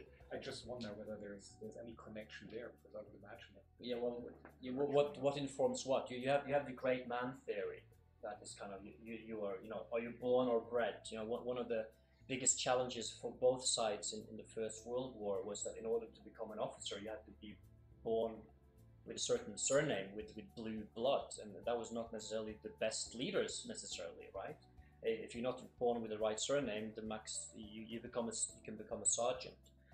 Uh, and now today we say no, of course, there's, there's we, we don't believe in the great man uh, theory, but, but yes, we do because we still very much focus on, on trade, traits and characteristics. You know, so at, at one point in time, you know, the, the sales of turtlenecks and, and, and round glasses uh, boomed because everyone wanted to be like you know who, Steve Jobs. Um, so I don't, I don't know what came first, but we, we, we haven't parked, we haven't left behind the, the notion of the great man theory, which is a pity. A fiction. It is fiction. I, I think that. th- th- So thank you, uh, uh, Sid. I, I think that it's a fiction that it's leaders only that provide leadership, but it's a fiction that we some of us well. en- enjoy. Yeah. You said in the beginning that um, um, that actually propose a much more simple approach, but I, I just wonder maybe this uh, obsession with uh, focus on the leader comes uh, with that this one is observable. So also from a research perspective, you can actually observe the leader, you can describe it. It's relatively simple, while actually the process of leading appears to be much more complex to grasp also empirically Hmm. Right? And Yeah. then it's just a scapegoat. You, you basically say, well, focus on the leader because we know what good leaders do is good leadership, and hmm. we can't observe leadership, right? Yeah, so it's also, the, I think that, yeah, thanks, Tom. I think it's a challenge of the simplistic things to measure as well, because it's become more and more important to measure things, and then what's easy to measure becomes more important, and what's more complex to measure becomes less important. Mm-hmm. Uh, I'm not a betting person, but I would put money on, you know, within 18 months of having a new CEO in a, in a major organization, there will be structural changes. But, but this, do you think that that would be different from different contexts? Like, would you think that this focus that you've now uh, talked about, do you think that's perceived differently? And I mean, if you not if you talk about military organizations, but if you talk about Norway and we have this Nordic model of, of leadership and sort of flat structures, and Hmm. so how do you envision that being different? I mean, you talked a little bit about resistance to change and and, and visions of continuity and and and and that whole sort of aspects. But would you envision that being different in the Nordic context? Your the purpose and sort of not having this leader following than in the states or in Germany or in India or in somewhere else around. Yeah, I think quite clearly that there will be kind of cultural differences. Um, but I think uh, that purpose in itself will, will have a, a, an essential role to play in, in whatever culture. And I don't think that our, our kind of uh, democratic model in, in Norway. I'm not sure how democratic it is. We just like to think that it is. Uh, but of course, the purpose can be different. But again, from these studies from Collins and Porras, also built to last, yes, all these 18 companies were private sector, but they were ranging from you know tobacco manufacturer to health company, uh, uh, and then uh, in in this particular health company, they said our our it sounds a bit like Lærdal here in Stavanger, you know, which, which I think is is, is, is, is great example. But this American company said, you know, our purpose is to save as many lives as possible. And if we do a great job out of that, we will make money for our owners. So making money for the owners was not number one because they thought this will this will just happen if we are really good at delivering on our purpose. But of course, if, if, if, their, if the company purpose was then to save as many lives as possible, that wouldn't then change next time automatically you, you hire a new CEO. You make sure that that new CEO, external or internal appointment, fit with the purpose. But of course, this is very often we want something tangible, we want it quick. So if, if you're if you're hiring a new CEO, who do you give the job to? The person who says, I, I think that my predecessor or the predecessor, the person in the job now has started something really fabulous, and I think my job for the first five years will be to follow up on the implementation of the decision already made. Or will we hire someone that is, yeah, I will, I'm going to promise you something fancy new, and I'm going to slash costs, and we're going to be mega efficient. Who do we give the job? Most likely the second one. I'm not sure if I answered Yeah. your question. No, but I think it's a really good. Uh, if I can just reflect on a little bit on that, because I think there's um there's this recent article that I just read on um, some research done in uh, amongst the Swedish firefighters, and it's really it's it's tapping into a little bit of, of uh, what you were talking about and also some of, of this diversity research. But what they found there is that you know there's this pressure also for having um, more you know you, you talked about on the stock market uh, how there's very few females but also we know that minority groups are, are not really represented on the stock market. They're not represented in, in you know any organization basically here in norway at least uh, on, on the higher level. But so what they found in this study looking into swedish firefighters is that you know there's this pressure of okay we need to have more diversity we need to count diversity we need to put that into different positions but then uh, in the organization, they don't want that. They don't want to change. They don't want the oxygen tanks to be smaller to fit females or or, or to fit whatever. You know, Mm. they they they are really happy the way they the, the way they are, and they their well being, which is often can be linked to you know innovation or whatnot, is linked to this um this uh, tillhörighet, like this uh, what do you call it? belonging. Like, huh? belonging. yeah, belonging to that homosocial group, belonging to firefighters, that they can work out together. We are tough guys. We are doing this together. They have this purpose, Mm. but that same purpose is preventing them from being inclusive to other groups within Mm. uh, the organization. So, what would you do then? Like, if you have this very strong purpose, yes, and as you mentioned, you can really like put forward uh, your ideas, and it's really important. But at the same time, you have sort of this pressure politically or, or, or in the in the society that we need to increase. Um, Of course, I didn't. I didn't make a kind of a normative statement around purpose and leaders, so it's good or bad. But, but in my work, I'm, I'm talking about kind of internal goods versus external goods. So purpose, I, I suggest and believe should be informed by internal goods, which is basically what's what's good for most. Yeah. And, and when I'm going to give an example, it's very often UN Sustainable Development Goals. Of course, one we, we have equality there, um, and of course you have this. It's, it's, it's a major challenge because you have these people. Oh, she only got the job because she's a woman, or he only got the job because he got a different surname. Something something wrong there, and we're not helping helping ourselves. I have this kind of this kind of feeling every time it says, you know, you had who was going to start a new uh, airliner during the COVID it was Braathen.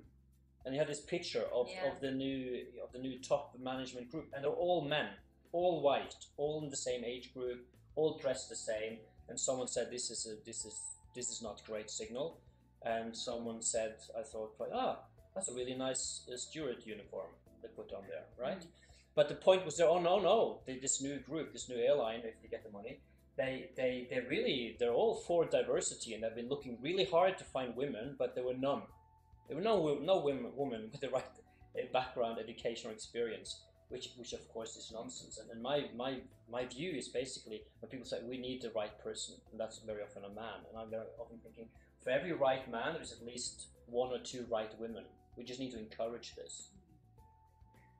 maybe there came a question up uh, from uh, Thibault right when this conversation was happening, and uh, his question is: Is the culture of Janteloven, the, the egalitarian style of the, the Nordic countries, is that compatible with innovation as a process? Is, is is that something? Can you be efficient in innovation within the democratic process? Just a, a quick answer because coincidentally, I just uh, came across a study that partly answers this question, and that Right. is um, very simplified view on, on leadership, more structural perspective. And they found actually that if you have a very in an organization a very uh, hierarchical structure, um, that makes in, in terms of innovation a difference from a flat structure. So far, so clear. But they also figure that if you have a very flat hierarchy, this is really good for stimulating innovation, the creation of new things or inventions, much more. But actually, a hierarchical structure seems to be much better for selecting them amongst these, Yeah. these different ideas and, and really um, making these, uh, putting them into reality in the end. Hmm. Um, so you could a little bit argue also if you believe in such a simplification that of course one model, let's say the Nordic model, which I would argue is more uh, more flat in, in terms of hierarchy, then would accordingly be much better to bring up new innovation, but maybe be less efficient in uh, realizing those. But that was at the organization level, so I don't know whether we can really transfer these findings directly to the state level. Probably not. But in, in, in general, I think that was really what the question was Mm. Within an organization, I'm telling you, Twitter is Yeah. a valuable source for Oh. literature these days. Oh, well, it is. For It for is. literature, right? So And you also, of still have to read the studies. Yeah, and also course, I'm not sure how, how valid Janteloven is any longer because it's basically don't believe you better than anyone else, and, and I, I think we kind of passed that, um, you know, which is, which is a challenge because they're, they're, they're good good and bad with, with, with the law to put it that way. Then- there's different kinds of better. Oh, this is kind of becoming a phil- philosophical com- Well, conversation. uh, it's kind of linked with the idea of uh, leadership as uh, um, nurturing a sense of purpose. Hmm. um, where if you have better not as this is what we all mean by better, but Hmm. as this is what you could be better at than others, and this is what you could be better at, and that works Mm. together, then then we get a, a a work culture in which a flat hierarchy is pretty productive because people are fulfilling roles that all are synergistic rather than ones where you're sort of competing with your peers so that Yeah. you feel like there's only room for so much at the top. Yeah. There's a fantastic uh, little book called Chrysalis. Chrysalis is like the pupa um, that you know caterpillars hatch out of, Hmm. and the metaphor there is of a caterpillar pillar, where all the caterpillars are crawling up to get to the top, and at the top there's this whisper that there's nothing there, Mhm. and then the whole landscape is littered with caterpillar pillars with this race to the top, and then then there's sort of a few butterflies up in the air of what you could have as realized potential versus the kind of rat race or Mm. and and the other name the book goes by is hope for the butterflies Mm.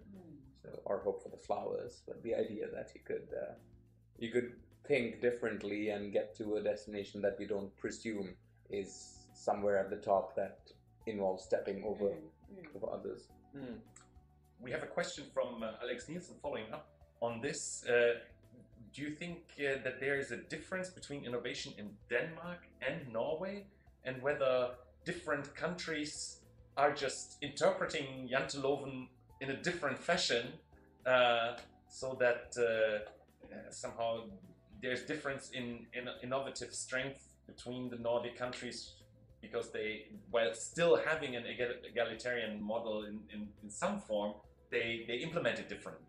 Is there is there some work on comparing the different Nordic countries when it comes? to Yeah, there is a lot of work on that, and and there is. Uh, I mean, I don't remember all like, e- exactly, but there's. I was actually looking at. There's a there's a new report, uh, and if I know who that is, we c- I can I could send it along. But there's a new report also on, on distinguishing between the Nordic countries and also the Eu- European countries on on green innovation, for example, seeing how we are we are doing in, in terms of um, of greening of innovation, and also in Norway, I guess we've been ranked many times as not as sort of the the lead uh, innovator country, but more like a follower. But I think a lot of things are happening now, and we can see that also because of COVID-19 and, and the climate crisis, there, there are wicked problems that needs to be solved from, you know, from a diverse uh, perspectives.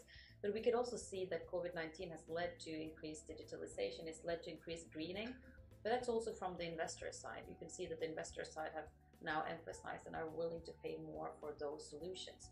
So I would reckon also that we would see, we're seeing a shift now that would be really interesting to pursue in, in terms of how we are doing, and also because of Norway and our dependence on on um, on oil and and you know all those innovations that have been very restricted. We are in a phase now of restructuring uh, in terms of uh, you know our our companies, entrepreneurship, in terms of regions. So we are in a phase where we actually need to maybe not make uh, lemon buns, but we need to sort of also create something. Well, there's a lot. There's a lot of good uh, places doing donuts and bomba and. Uh, Yeah, that would be Yeah. nice too. But I don't know if you want to add something. But I mean, there are a lot of rankings. But I'm not. I'm.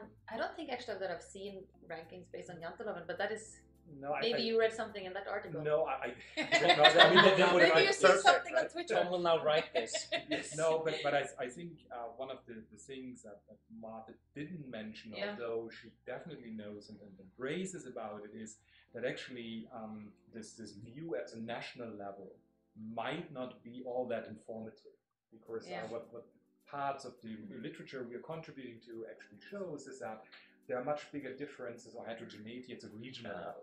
So you actually find much Yeah. bigger differences, let's say, between Copenhagen and whatever remote place in Denmark there is, Kolding maybe, I don't know, sorry, don't, I- I- nothing bad against Kolding, I don't know, just as an example, and between um, uh, Oslo and, and a remote place in Norway, then actually between um, the two countries. Yeah. So I think, and this is also where partly cultural differences come in, but And also sectoral of- differences as well. So I know that's a lot of work done on that as well. That these sectoral differences that might explain. Uh, and So- geographies as well. Um, both physical but also cultural geographies, particular trajectories of countries, but certainly also proximity to a certain sort of European hub for Denmark, given that Copenhagen's a, a significant chunk of the population, um, and that country isn't as large uh, and as sort of uh, mountainous and sort of remote in a different sense as Norway. I think there's certainly effects there of the Øresund region uh, developing, you know, to people living in Malmö or Lund. Yeah. Um, Copenhagen is more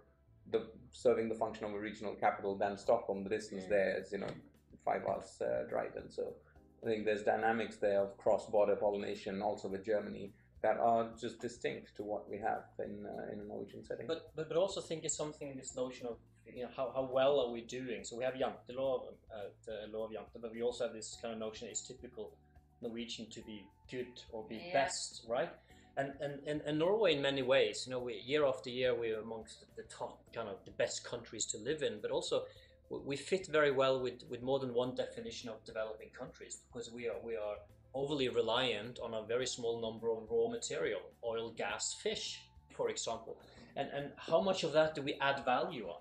You know, look at how much we pump up or fish up and then send abroad, and then others are innovative about what they do with the raw material because they don't have necessarily the raw material themselves. I think Norway, we, we're gonna we're gonna have a real shock uh, when when when oil and gas is no longer or no longer what what sells in the markets. I would say I would observe that Denmark is, is further ahead now when it comes to this transition to green economy.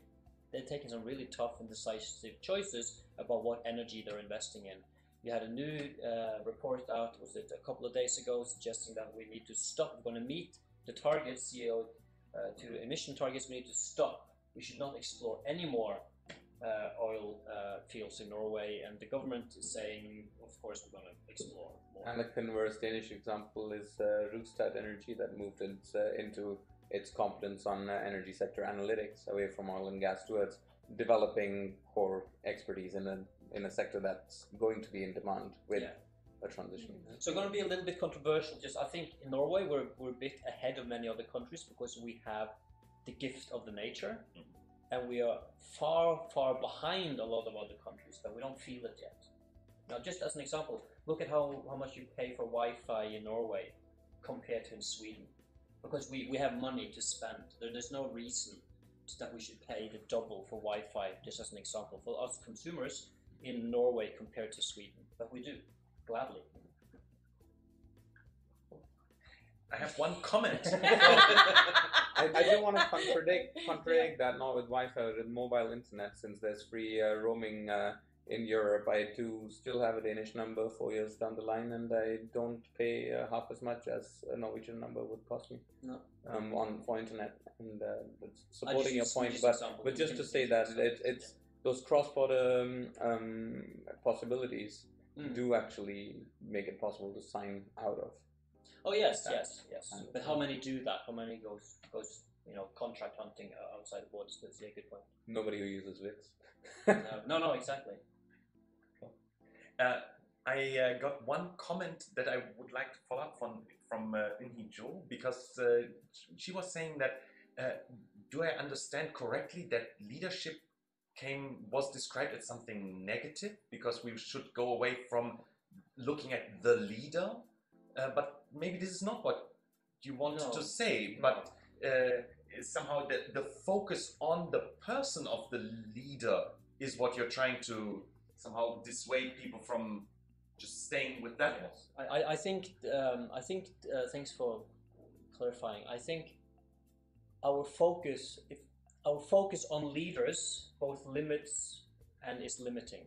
So I think that we have if we can look at leadership as something more than just individual leaders, and if we can look at leadership as a process that more of us, I'm not saying all of us, but more of us can contribute to rather than a small group of individuals. It's a bigger group of individuals who can contribute to leadership then per definition everyone contributing to the process of leadership is a leader and that's all positive Okay, Yeah. thanks. I think the, the example you gave before, right, with this um, with this birds, is just perfect. Yeah, the, Yeah. yeah. the, the I one love with the that birds is example. pretty there nice. is no yes. leader per se, but it's a kind of rotating principle, and, and they just follow each other and then lead each other at the same time. And it's a system issue. It's the, the position system, yes. of leading the pack, but the the person is somewhat interchangeable.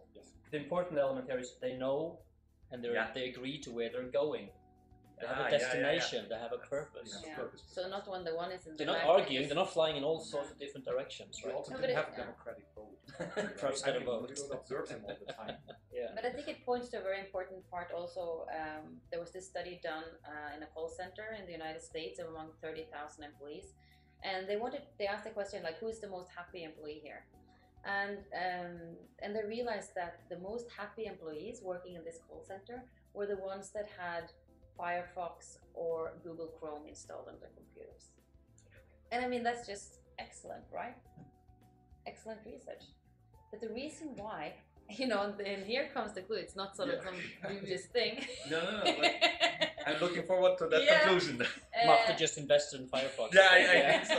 Yes, the download numbers are Yeah. just exploding right now. No, the, the point was that when these 30,000 employees, when they came to their uh, to, to start working uh, in this company, what was the default on the computers was Internet Explorer.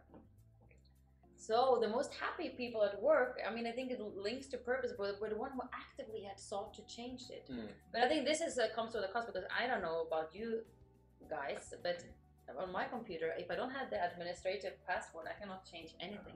So if we think about this as a metaphor, right? You have to be able to to log onto your, to your computer and change it. So it's a two-way process. Mm. You are taking the initiative to change something on your computer that you don't like, but you're also given the opportunity to do so because you don't have some silly administrative password that you need to have access to. I think that that's also like a little bit speaks that that was what I, popped up in my mind when I when I listened about these these birds. So that was just a little. I can uh, come in there, I think it's a fantastic example, but it's op- it opens up to multiple readings. as yes, well. it does. and uh, and I think one, one of those that I want to sort of pull us out of the the organizational reference frame Yeah. and think a little bit also of individuals because uh, not everybody works within large organizations or Mm. even in context even if you're working in a small setup uh, leadership is not necessarily the the guiding value or the big a big part of the conversation and for many people it's a self-employed situation or doing something um, where you can also come out of left field into making a contribution or you can make a contribution that's not seen as a great revolutionary thing in society and yet Mm. uh, it's one of the things that adds a lot of value Yeah. to people's lives and there i think um, there's you know something going on that your example captures that has to do with initiative Yeah. and yeah being proactive and finding um, or the literature on improvisation is really uh, and and term in Hindi is jugaad. That sort of improvisation filling a lot of gaps, which, for instance, in many contexts are left by the state, leads to innovation Yeah. uh, of a sort that that you wouldn't necessarily be able to fill as well with a public or private sector Yeah. solution as somebody seeing a particular opportunity to add value. Now, what enables that sort of perception? What enables that kind of space for not just sort of having those ideas, but having somebody able to do them? And then thinking of that mobility sector example, I'm talking about digitalization, which is sort of innovation. I think a lot of that space and what happens there is conditioned by incumbents, is conditioned by purchasing power, lobbying power, um, reach to policy, and sort of taking over the popular, the social imaginary of what is the sector, what does mobility mean, and that really chokes the possibility for alternative imaginaries, for people to champion solutions that are more diverse, are more hybridized, and it's a real, real sort of like getting out of the rut sort of problem.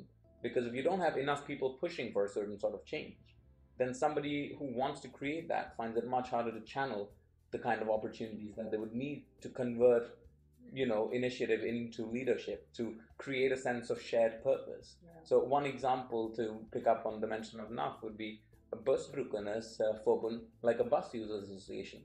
Seems obvious. I mean, a lot of people use buses, but that doesn't exist in Norway. All it takes is one person and then another person to found that, right? And and and so that kind of to me part of the not bringing it also into this question of Nordic values and I think part of that is the idea of collectivism, the idea of being able to come into uh, a form of intersubjective consensual progress that I think we've been very good at in some ways, but uh, but you know there are clearly gaps, and you talked about sort of certain kinds of tendencies of certain people to be in influential positions, and just to flag uh, Bergen Næringsråd, the Bergen Chamber of Commerce, they started this program called Bergen Opportunity a couple of years ago, and it's been very popular, bringing diverse, multi-ethnic sorts of people into future leadership positions, creating like an enabling space for that sort of mentorship, that sort. Of, And I think there's many examples of that sort, and those are really things that I think are fantastic to see happening within a Norwegian ecosystem. That there's Mm. recognition and then there's action, Mm. and that action isn't a very fixed. This is how we define future growth and excellence and leadership. It's saying we need to create that space for diversity and to support multiple sorts of. Uh, I mean, you're part of the sixth uh, forum, and I feel like there's uh, that's probably also an interesting example. yeah, yeah, most probably it is. I mean, I think uh, that that network um, is uh, is also a place where you meet people with um, that have a purpose. I can really relate to that, but also that they are um, driven by something that is larger than themselves. So it's something I think this collectivism that you that you spoke about is is something that is really important there, and also with this uh, UN Sustainable Development Goals, like uh, uh, number seventeen, or, Yeah. or you know working together, driven, Enabling. huh? Yeah, enabling. enabling and, and sort of really developing something together. I think is is crucial also, and something that is a driving force, and it's really a positive stream of energy uh, of young leader, leaders and talents uh, moving forward. So I think that's optimistic uh, for the future. And I think we need to we- we also also need to look at our educational system and perhaps focus more on what you just said, enabling, Mm. rather than defining what success looked like. Let's let's focus on enabling people, and they can define their own success Yes. rather than us Yes. defining what that success looks like. We have the whole conversation these days: should should we give uh, marks or grades uh, on uh, on schoolwork uh, in uh, in Norway, uh, which is a political debate, and then this. I saw this case where actually by law you have to give uh, you have to give an overall mark in each subject area at the end of the year, but you don't need to give a mark on, on tests. So in one in one school they didn't give marks on tests, but they gave extensive feedback, written Mm. and verbal, because they said with with the marks it becomes a competition. It doesn't become about learning; it becomes a competition about getting the best marks, and everyone, of course, to, to think they deserve the best marks. So I really think that let's spend more time and energy on on enabling individuals and let them define their own success. I think with, with these uh, with these grades is quite interesting because originally the idea was you get grades as a kind of signal um, whether you're, you have abilities or skills that match basically this direction. Mm. right? So it was was much more about okay, if you get a, a, bad grade, let's say, all it means uh, meant is um, maybe that's not your strength. Look for someplace else, Hmm. right? Um, and sometimes it's literally a, a different place, but in, in, in many cases, not not, not necessary. Different think we- country even. Uh, leave countries, right? Go to a country. No, I, and I think this is really uh, an idea to go forward, right? So it's not about getting the best grade, but actually finding more or less the area where you get the best grades, Mm. kind of. And this is, I think, uh, what Finding what- your purpose. precisely Mm. finding our purpose. And I think uh, by the, the real problem is not giving the grades, but then in the end throw them all together and average them. Mm. Like, what's the point in that? That basically tells you you have rather diversified skills and you're relatively good at any and in multiple uh, uh, areas. But is this any better than, than somebody who really excels in one uh, Yeah. aspect? And even then, like at, at the university, we don't automatically provide the students with feedback unless they ask for it. We give them marks, but even if you get an A, you would like to know how did you get an A? How, how could you keep getting an A? But this thing, what happens? So what can be measured becomes important, and learning becomes less important. The marks become more important, and then look to again to the UK. You have this grade inflation, where the A is no longer good enough, so they create a new mark, which is A star. Imagine then when everyone gets an A star, what are you going to have then? A double star? So you're losing the whole point of A constellation. marks. Constellation, yeah.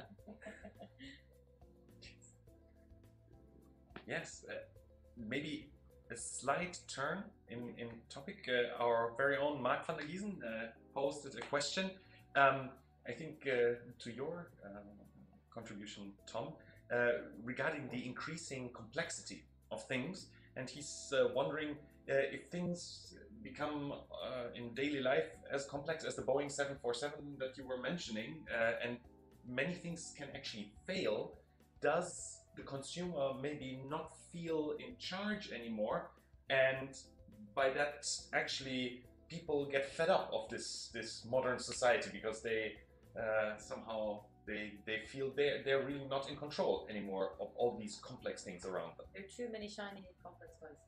Um, y- yeah, I, I think what I had in mind primarily was much more technological complexity, and this also refers much more to, let's say, social complexity or the complexity of a daily and social life. Um, so I think it's it's important to keep those apart because sometimes complex technological things may have relatively simple interfaces that allow us to handle these type of things.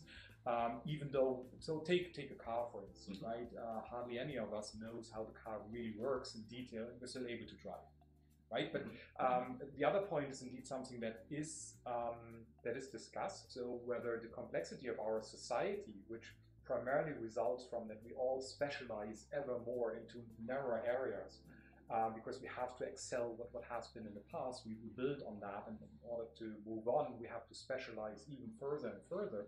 Um, this implies also that you, you get kind of good in one thing, but you lose the ability to feel like an expert, or at least a decent uh, user in another area. And this is indeed put forward as, as maybe one of the reasons why people feel a little bit uncomfortable or increasingly uncomfortable and have this feeling, I don't understand what's going on anymore.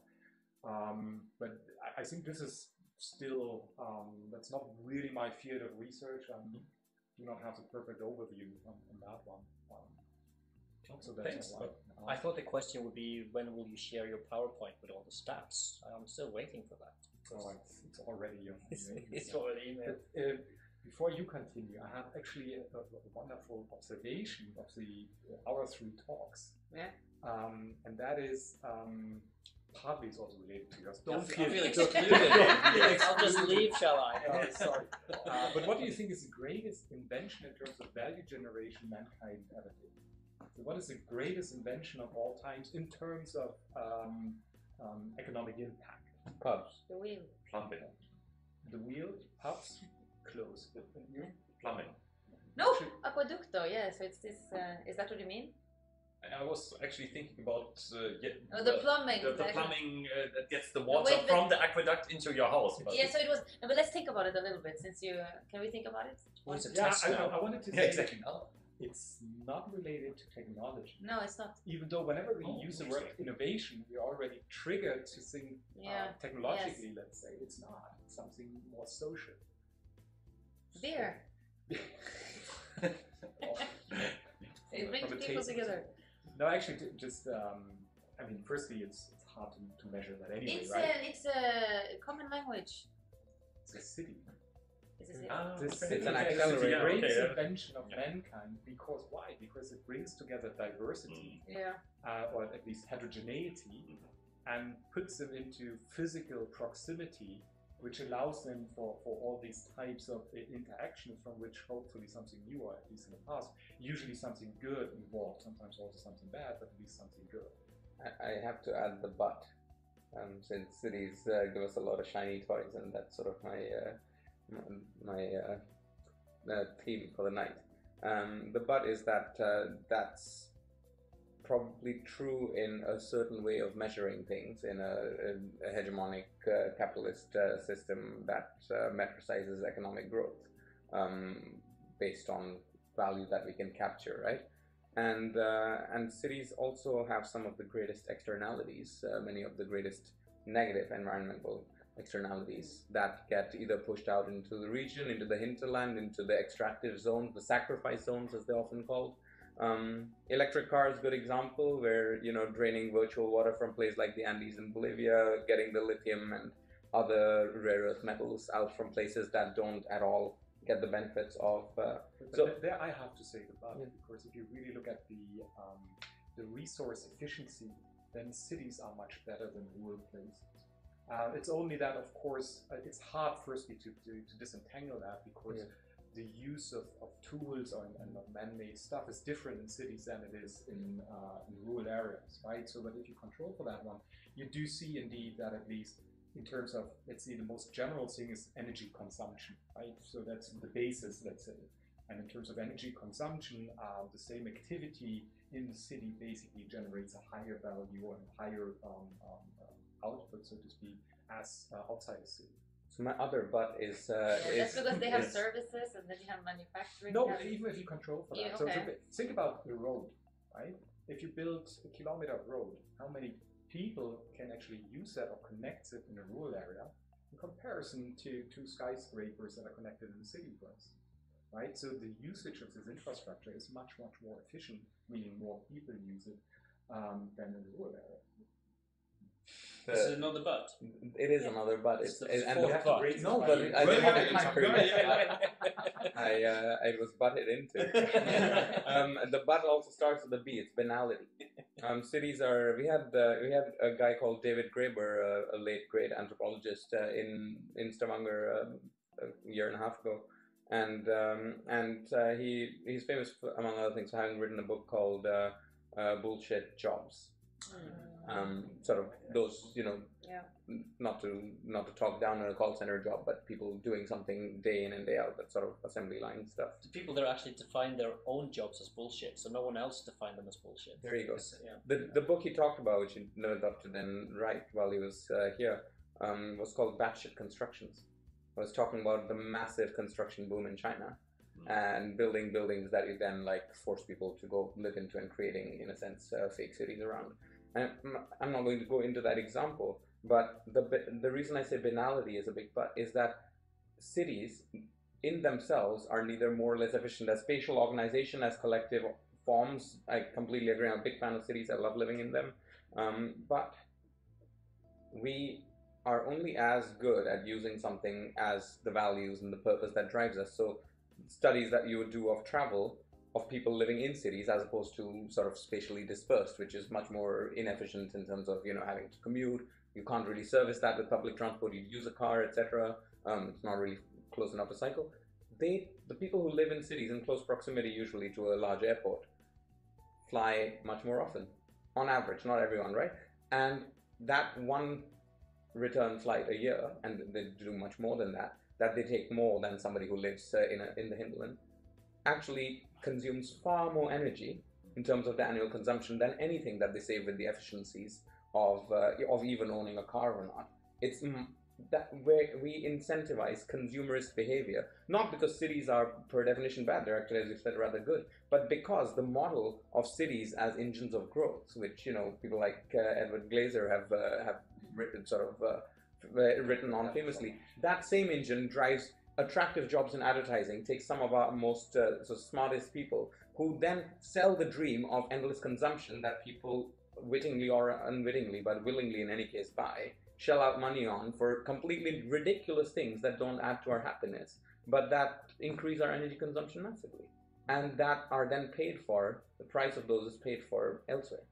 There's no other way. And the, the, that's when we come to the donut and to the limits of growth. And uh, those things don't uh, don't sell as well in advertising campaigns. I mean, the, the campaigns, the ads, I think, are the most brilliant. When we go to the cinema, here we are back at the films, and I know that this is something we share um, are are the ad by Kiwi Supermarket, right? The one with these two guys faced off on a bridge, saying, "I'm not going to move. I'll read a book all day."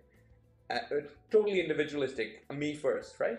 And it's celebrated and it's made attractive. I love that ad. It's brilliant. And the other, any ad by Telia, they they just sell you this thing that is emotionally powerful because the people who are the best paid in that industry get those jobs to make that something that we talk about here they're incredibly successful and they are morally culpable for making us a society that lives well beyond its means. And like you said, in the Norwegian context, that's uh, going to come back to bite us if we don't switch fast. Mm. The question is, is this a fault of the city? I would doubt that. So I don't think that it's difficult to disentangle. Yeah, of course it is, right? Therefore, we have research on that, and we're will be uh, busy with I, that. I don't agree. I don't agree that that's because of uh, research or the lack of it. I think it's uh, it's a bias that's inherent to metrics, to how we can measure things. There are things we can measure, things we can't measure as easily, mm-hmm. and those lend themselves to being marginalized in any kind of economic analysis of value.